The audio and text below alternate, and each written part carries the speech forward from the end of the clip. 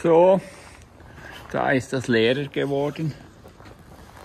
Einen recht schönen guten Mittwochmorgen, der 2. Oktober wünscht dir der Bauerhausi. Willkommen auf meinem Kanal.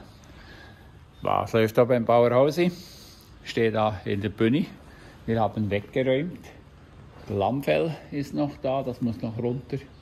Ähm, und hier haben wir ja abgesperrt das werde ich jetzt öffnen, damit wir da wieder auf die Fahrbrücke reinfahren können.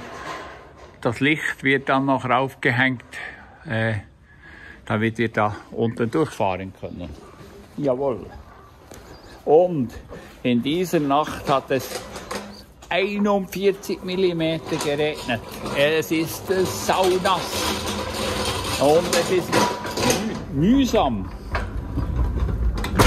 Wir warten auf schönes Wetter, damit wir Kartoffeln roden können. Ähm, und dann wäre auch Zuckerrübenroden angesagt. Schauen wir mal, wir müssen warten. Ja, und zwischendurch Maschinenring Ersingen. Ich brauche da neue Scharspitzen für den Horsch. Horsch Dedano 3FX habe ich bestellt. Da der alte Althaus ist noch gut, aber beim Kuhn sind die Spitzen auch runter. Die Flügel lasse ich noch, aber ich bestelle neue Spitzen. Kuhn Kultimer M3000 bei der Robert Abbey AG. Die beim Horsch, das habe ich in der LMG Graswil bestellt. Dort haben wir den auch gekauft, den Horsch. Und der wurde in Ersingen bei der Robert Abbey AG gekauft.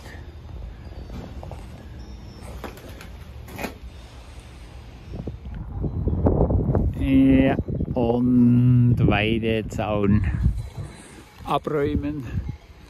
Hier rein, eine Unterteilung kommt weg, drüben auch. Und den Längszaun lassen wir sein. Hier, damit wir sie im Herbst, wenn sie in den Stall müssen, besser einsperren können, dass sie nicht die ganz, durch die ganze Weide rennen.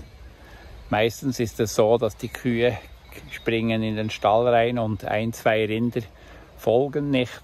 Und dann hat man die Problem, dass die da durch den Korall runter auf die Straße in den Stall gehen.